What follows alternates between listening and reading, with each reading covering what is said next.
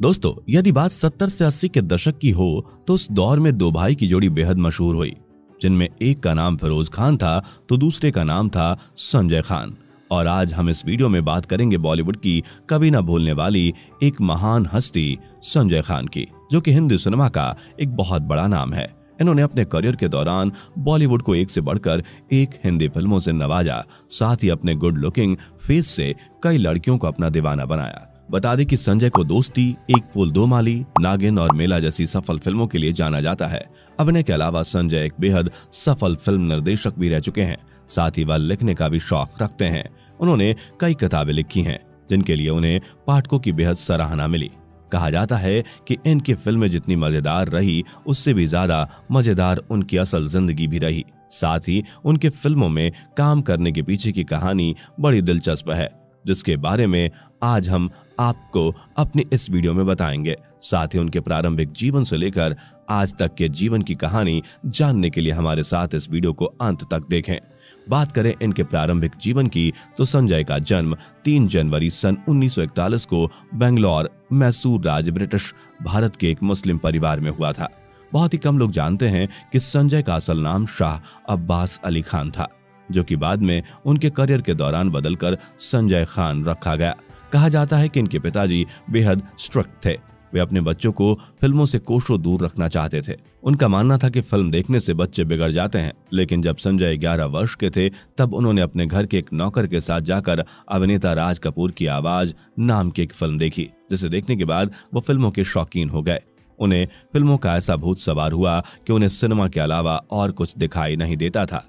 उन्होंने दरियागंज नई दिल्ली में कैम्ब्रिज स्कूल के माध्यम से सीनियर कैम्ब्रिज प्राप्त किया और आगे की शिक्षा लेने का फैसला करते हुए संजय खान मुंबई चले गए, जहाँ बॉलीवुड में शामिल होने से पहले उन्होंने सन उन्नीस में टार्जन गोज टू इंडिया के एमजीएम प्रोडक्शन के लिए हॉलीवुड फ़िल्म निर्देशक जॉन ग्लेरमन की सहायता की। शशि कपूर से संजय का पुराना रिश्ता था, जिनके ज़रिए संजय की मुलाकात राज कपूर से हुई। लेकिन जिस दिन संजय कपूर, राज कपूर से मिले वह होली का दिन था जब राज कपूर से मिलने आर के स्टूडियो गए तो वहाँ होली मनाई जा रही थी। वहाँ संजय को किसी ने भाँग पिला दी। भाँग के नशे में संजय वहाँ किसी से ठीक से बात नहीं कर सके, जिस वजह से होश में आने के बाद उनको बेहद शर्मिंदगी महसूस हुई और इसके बाद दोबारा उनकी मुलाकात राज कपूर से नहीं हो सकी। लेकिन उसके बाद उन्होंने सन उन्नीस में चेतन आनंद की चीन और भारत के युद्ध से संबंधित फ़िल्म हकीकत में एक सैनिक के रूप में एक छोटी भूमिका निभाते हुए अपने करियर की शुरुआत की। उसी वर्ष उन्होंने बड़ी ब्लॉकबस्टर फ़िल्म दोस्ती में एक महत्वपूर्ण सहायक भूमिका निभाई। इस फ़िल्म के पीछे भी एक रोचक कहानी रही। हुआ यूँ कि मुंबई के जुहू बीच पर संजय की मुलाकात बॉलीवुड के मशहूर डायरेक्टर सत्येन बोस से हुई और एक दिन सत्येन संजय के घर आ पहुँचे और संजय से अपनी गाड़ी को धक्का देने को कहा। संजय ने भी बिना किसी सवाल जवाब के उनकी गाड़ी को धक्का दे दिया और इस तरह से सत्येन रोज संजय से अपनी गाड़ी को धक्का दिलवाते थे। और अजीब बात यह थी कि सरल स्वभावी संजय बिना गुस्सा और सवाल के उनकी गाड़ी को धक्का देते थे। उस वक्त संजय यह भी नहीं जानते थे कि जिनकी गाड़ी को वो धक्का दे रहे हैं, वो एक मशहूर डायरेक्टर हैं। एक दिन जब संजय रोज की तरह सत्येन की कार को धक्का लगा रहे थे, तभी उन्होंने संजय को धक्का देने से रोकते हुए कहा कि अब मैं तुम्हारे करियर को धक्का दूँगा। इस तरह सत्येन ने संजय को फ़िल्म दोस्ती में काम दिया और फ़िल्म बड़े पर्दे पर ब्लॉकबस्टर साबित हुई। साथ ही फ़िल्म के गाने भी बेहद मशहूर हुए। इस फ़िल्म के चलते डायरेक्टर सत्येन बॉस ने शाह अब्बास को हिंदू नाम संजय खान दिया। इस फ़िल्म के बाद संजय रातों रात फ़ेमस हो गए। साथ ही सभी महिला दर्शक इनकी खूबसूरती की दीवानी हो गई। तत्पश्चात इनको कई फ़िल्मों के ऑफ़र आए।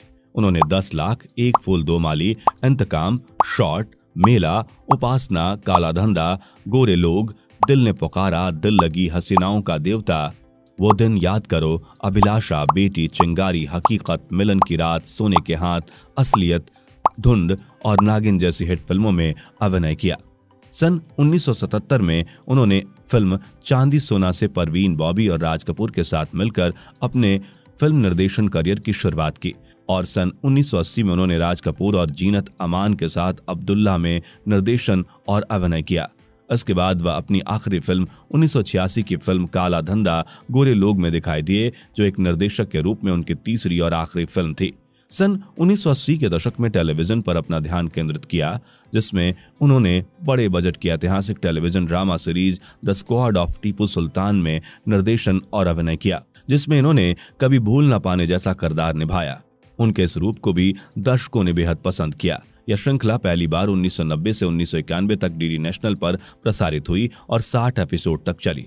इसके बाद उन्होंने द ग्रेट मराठा, जय हनुमान और अठारह क्रांति जैसी अन्य लोकप्रिय टेलीविज़न श्रृंखलाओं का निर्माण और निर्देशन किया, जिसमें भी संजय के काम को बेहद सराहना मिली। साथ ही अपने प्रशंसकों की वाहवाही लुटी। 8 फरवरी उन्नीस सौ नवासी को मैसूर के प्रीमियम स्टूडियो में एक बड़ी आग दुर्घटना हुई, जहाँ धारावाहिक the sword of Tipu Sultan की शूटिंग हो रही थी। ढीली वायरिंग और वेंटिलेटर की अनुपस्थिति से आग बेहद फैल गई। आग रोधी सामग्री के बजाय दीवारों में बोरियाँ थी और बड़ी रोशनी के उपयोग के कारण तापमान लगभग 120 डिग्री सेल्सियस तक बढ़ाया गया था। इन सभी कारणों से मामला बेहद गंभीर हो गया, जिस वजह से सेट पर लगभग बावन लोग मर गए। इसके अलावा इस हादसे में संजय गंभीर रूप से जल गए और उन्हें तेरह महीने अस्पताल में बिताने पड़े और तिहत्तर सर्जरी से गुजरना पड़ा। कहा जाता है कि संजय खान ने 18 साल की उम्र में अभिनेत्री जरीन कातरक को प्रपोज किया था और उस वक्त जरीन केवल 12 साल की थी। वो एक साल बाद रिश्ते में आए और शादी करने से पहले लंबे समय तक एक दूसरे को डेट किया। इस बीच अभिनेत्री माला सिन्हा ने संजय को प्रपोज किया, लेकिन उन्होंने प्रस्ताव को अस्वीकार कर दिया क्योंकि वह पहले से ही जरीन के साथ रिश्ते में थे। और इसी बीच इनका अभिनेत्री जीनत अमान के साथ एक्स्ट्रा मैरिटल अफेयर चल रहा था। उन दिनों इस बात की खबर फैल गई कि दोनों ने फ़िल्म अब्दुल्ला के सेट पर गुपचुप तरीके से शादी कर ली है। लेकिन फिर इस बात का खुलासा हुआ और पता चला कि यह एक अफवाह है। बात करें इनके पारिवारिक जीवन की तो इनके पिता का नाम सादिक अली खान था, जो कि एक व्यापारी थे। उनकी माँ का नाम फातिमा था। संजय सात भाई बहन हैं, जिनमें उनकी दो बहनें और पाँच भाई हैं। उनकी दोनों बहनों के नाम दिलशाद और खुर्शीद हैं। संजय के बड़े भाई फिरोज खान हैं, जो एक सफल अभिनेता थे और उन्होंने धर्मात्मा और कुर्बानी जैसी सुपरहिट फ़िल्में बनाई। संजय के दोनों छोटे भाई समीर और शाहरुख व्यवसायी हैं, जबकि उनके भाई अकबर एक एक्टर रह चुके हैं। साथ ही अकबर खान ने ताजमहल एक अनंत प्रेम कहानी भी बनाई। बात करें संजय के निजी जीवन की तो संजय खान की पहली शादी जीनत अमान से 30 दिसंबर सन 1978 को राजस्थान के जैसलमेर में दो गवाहों के साथ एक निजी समारोह में हुई थी। बता दें कि जीनत अमान एक बॉलीवुड अभिनेत्री और पूर्व फ़ैशन मॉडल हैं, जिन्होंने सिर्फ़ 19 साल की उम्र में सौंदर्य प्रतियोगिता में भाग लिया और सन 1970 में फेमेना मिस इंडिया पेजेंट और Miss Asia Pacific International pageant दोनों जीते। लेकिन जीनत और संजय का रिश्ता एक साल से भी कम समय तक चला। जिसे 24 नवंबर उन्नीस को रद्द कर दिया गया। जीनत अमान के लिए यह रिश्ता मुश्किल था। जिनत का कहना था कि उन्हें संजय मेहमानों की उपस्थिति में भी पीटते थे। साथ ही उन्हें घरेलू दुर्व्यवहार का सामना करना पड़ता था। कहा तो यह भी जाता है कि जिस दुर्व्यवहार से जीनत को गुजरना पड़ा, उसके परिणाम स्वरूप उसकी दाहिनी आँख को अस्थायी क्षति हुई, जिस कारण उन्होंने संजय को तलाक दे दिया। जिसके बाद संजय ने दूसरी शादी जरीन कातरक खान से की।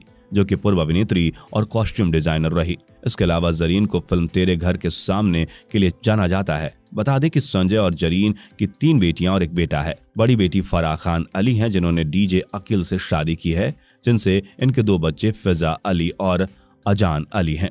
इसके अलावा संजय कपूर की दूसरी बेटी सिमोन अरोड़ा ने अजय अरोड़ा से शादी की है।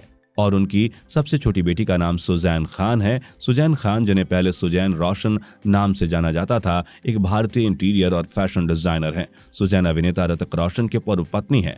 ऋतिक और सुजैन के दो बच्चे हैं, जिनके नाम हृदान रोशन और रहान रोशन है। इसके साथ ही संजय के बेटे अभिनेता जायद खान, एक पूर्व भारतीय अभिनेता और निर्माता है, जो विशेष रूप से हिंदी फ़िल्मों में दिखाई दिए। बता दी कि जायद ने मलाइका पारेख से शादी की है, जिनसे उनके दो बेटे यानी संजय के पोते पोते जिदान और आरज खान हैं। इसके अलावा हिंदी सिनेमा के मशहूर एक्टर फरदीन खान संजय के भतीजे हैं। बता दें कि सन उन्नीस में संजय ने अपना ड्रीम प्रोजेक्ट बेंगलोर में पाँच सितारा deluxe Golden Palms hotel and spa launch किया। उन्होंने लगभग तीन लाख वर्ग फुट के निर्मित क्षेत्र के साथ 150 कमरों वाले इस होटल को बनवाया, जिसमें भारत में अब तक का सबसे बड़ा स्विमिंग पूल है। इसके अलावा संजय लिखने के भी शौकीन हैं। उन्होंने सन 2020 में अपनी आखिरी किताब अस्सलाम वालेकुम वतन लॉन्च की। इन दिनों संजय अपनी बेहद टैलेंटेड फैमिली के साथ मुंबई में ही रहते हैं और अपने नए नए प्रोजेक्ट में खुद को व्यस्त रखते हैं। वो स्पोर्ट्स कार खरीदने का शौक रखते हैं। हिंदी सिनेमा में संजय का बहुत अच्छा योगदान रहा है, जिसके लिए उन्हें हमेशा याद किया जाएगा। हम उनके अच्छे स्वास्थ्य और दीर्घायु की प्रार्थना करते हैं। तो दोस्तों, यदि आपको हमारी ये वीडियो पसंद आई हो तो लाइक, शेयर और कमेंट ज़रूर करें। और अपने पसंदीदा एक्ट्रेस और एक्टर के बारे में जानना चाहते हैं तो हमारे चैनल को सब्सक्राइब करना ना भूलें।